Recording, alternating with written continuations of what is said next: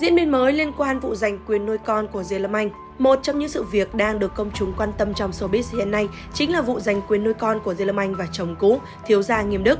Theo đó, vào chiều ngày 9 tháng 8, Tòa án Nhân dân Thành phố Hồ Chí Minh đã mở phiên xét xử phúc thẩm vụ ly hôn của cặp đôi này. Phiên tòa được xử kín, người thân hai bên và báo chí không được vào tham dự. Tuy nhiên thì phiên tòa này lại vắng mặt Diệp Lâm Anh vì cô có lịch trình riêng. Diễn viên Kiwi Ngô Mao Trang là người đại diện cho Diệp Lâm Anh. Tuy nhiên thì nữ diễn viên cũng chỉ ngồi ở bên ngoài và không được vào tham dự. Sau một giờ xét xử, hội đồng xét xử thông báo tạm dừng phiên tòa để xem xét chứng cứ mới. Thời gian mở lại phiên tòa sẽ được thông báo sau. Như vậy, sự việc này vẫn chưa có dấu hiệu dừng lại. Trước đó, tại phiên sơ thẩm vào tháng 12 năm 2022, Tòa án Nhân dân quận 1, thành phố Hồ Chí Minh đã tuyên chấp nhận cho vợ chồng Diệp Lâm Anh ly hôn. Cư mẫu được quyền nuôi dưỡng con gái, còn con trai giao chồng cũ.